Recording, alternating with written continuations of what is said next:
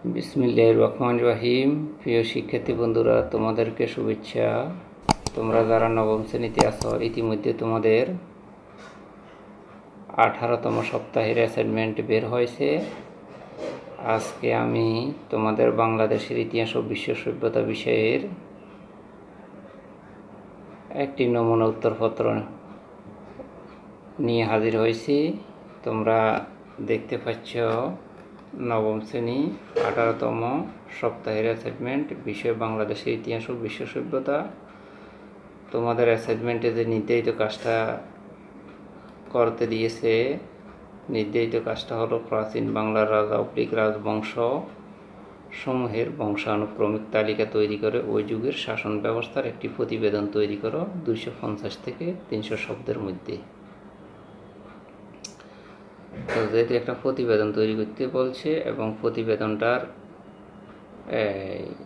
তারা যে শব্দটা বলছে দুশো পঞ্চাশ থেকে তিনশো শব্দের মধ্যে আমরা চেষ্টা করব দুশো পঞ্চাশ থেকে তিনশো শব্দের মধ্যে সংক্ষেপে একটা প্রতিবেদন তৈরি করার জন্য। তো অ্যাসাইনমেন্টের নাম হবে তোমাদের সাইড অ্যাসাইনমেন্টের শিরোনাম হবে প্রাচীন বাংলার রাজনৈতিক ইতিহাস তিনশো ছাব্বিশ খ্রিস্ট পূর্বাব্দ থেকে বারোশো ষাট খ্রিস্টাব্দ। তারিখ এখানে একটা তারিখ দিবে বরাবর প্রধান শিক্ষক, তুমি তোমার স্কুলের নাম দিবে এখানে, তোমার জেলার নাম দিবে।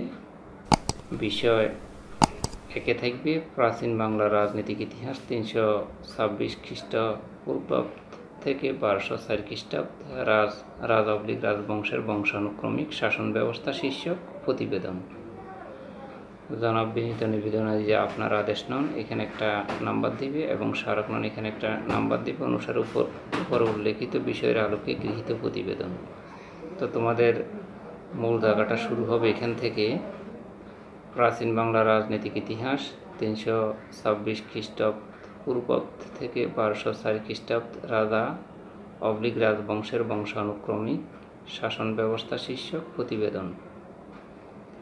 প্রাচীন বাংলার রাজা অবলিক রাজবংশের বংশানুক্রমিক তালিকা। মাৎসন্যায় ও পাল বংশ। সাতশো পঞ্চাশ থেকে এগারোশো একষট্ট, একষট্টি খ্রিস্টাব্দ।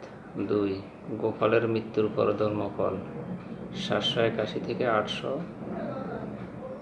একুশ খ্রিস্টাব্দ।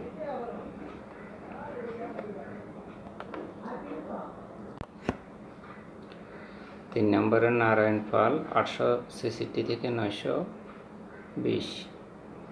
চার নম্বরে মহিপাল নয়শো পঁচানব্বই থেকে এক হাজার তেতাল্লিশ খ্রিস্টাব্দ রামপালের পর কুমার পাল, আনুমানিক এগারোশো চব্বিশ থেকে এগারোশো উনত্রিশ খ্রিস্টাব্দ চন্দ্রবংশ। রাজবংশ সময়ের শাসন ব্যবস্থার সংক্ষিপ্ত বর্ণনা দেওয়া হলো। এক মাত্র নয় ও পাল বংশ। শশাঙ্কের পর বাংলার ইতিহাসে এক অন্ধকার যুগে প্রবেশ করে। দীর্ঘদিন বাংলার যোগ্য শাসক ছিলেন না বললে চলে। ফলে রাজ্যে সবসময় শৃঙ্খলা ছিল না। এত হর্ষবর্ধন ও ভাস্কর ব্রহ্মণ হাতে পুরো রাজ্য প্রায় নিঃশেষ হওয়ার পথে রাজ্যে বিভিন্ন ভূস্বামী ক্ষমতা দখল করার জন্য মরিয়া হয়ে ওঠে। এ পরিস্থিতিকে বলে মাৎসন্য এই অবস্থা চলতে থাকে প্রায় একশো বছর।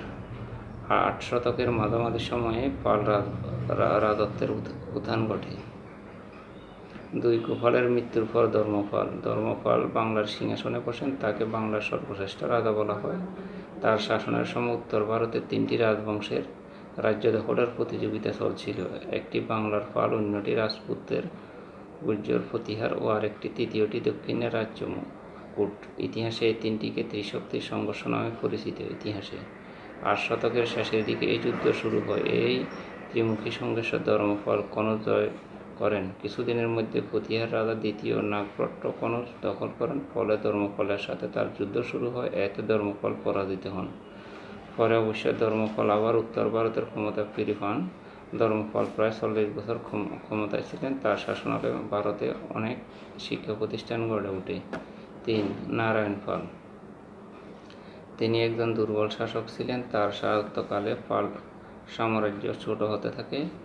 সাম্রাজ্য ছোট হতে থাকে নারায়ণ পালের পর সিংহাসনে বসেন, গোপাল ও বিগ্রহপাল তারা উভয়ে নয়শো বিশ থেকে নয়শো পঁচানব্বই পর্যন্ত রাজত্ব করেন।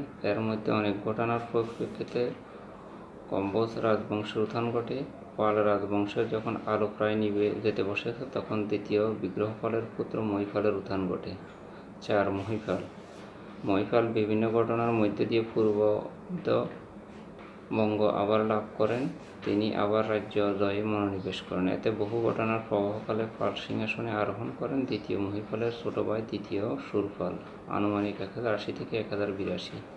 অতঃপর তার ভ্রাতা রামপাল সিংহাসনে বসেন। তিনি ছিলেন পাল রাজবংশের সর্বশেষ রাজা। রামপালের পরে যে সমস্ত রাজা পাল বংশ এসেছিলেন, তারা ছিলেন অত্যন্ত দুর্বল। ফলে তাদের পক্ষে পাল রাজবংশ আর টিকেনি। রামপালের পর কুমার পাল। তাদের শাসনামলে যুদ্ধ লেগে থাকার ফলে সেন বংশের উত্থান ঘটে। বাংলায় বিজয় সেন শাসন প্রতিষ্ঠা করেন। এই সময় কান্তিদেবের রাজা নামে একটি বংশের উত্থান ঘটে। অতঃপর কান্তিদেবের রাজ্যের পতন ঘটে চন্দ্র রাজবংশের হাতে। ছয় চন্দ্র রাজবংশ দক্ষিণ পূর্ব বাংলার সবচেয়ে শক্তিশালী রাজবংশের নাম চন্দ্র, চন্দ্রবংশ। এই বংশ প্রায় দেড় শত বছর বাংলা শাসন করেন। চন্দ্রবংশের শাসনে বাংলা সহ দক্ষিণ ভারতের শাসন ব্যবস্থার উত্থান, পতন ঘটতে থাকে। বহু ঘটনার প্রবাহ অবশেষে বৈদেশিক আক্রমণে চন্দ্র রাজ্যের পতন ঘটে। এই ছিল তোমাদের বাংলাদেশের ইতিহাস ও বিশ্ব সভ্যতা বিষয়ের অ্যাসাইনমেন্টের একটি নমুনা উত্তরপত্র। তো এখানে প্রতিবেদকের নাম লিখবে। তুমি তোমার নাম লিখবে, প্রতিবেদন তৈরির সময় লিখবে, প্রতিবেদন তৈরির তারিখ, একটা তারিখ লিখবে। যদি অ্যাসাইনমেন্টের নমুনা উত্তরপত্র তোমাদের ভালো লেগে থাকে, তাহলে তুমি লাইক এবং সাবস্ক্রাইব করবে এবং পাশে কমেন্ট বক্সে একটি ভালো মন্তব্য লিখবে। এই ভিডিও তুমি তোমার বন্ধুবান্ধবের মাঝে ছড়িয়ে দিবে। বন্ধুবান্ধবকেও বলবে লাইক এবং সাবস্ক্রাইব করতে এবং কমেন্ট বক্সে একটা ভালো মন্তব্য লিখতে। আজকে এ পর্যন্ত।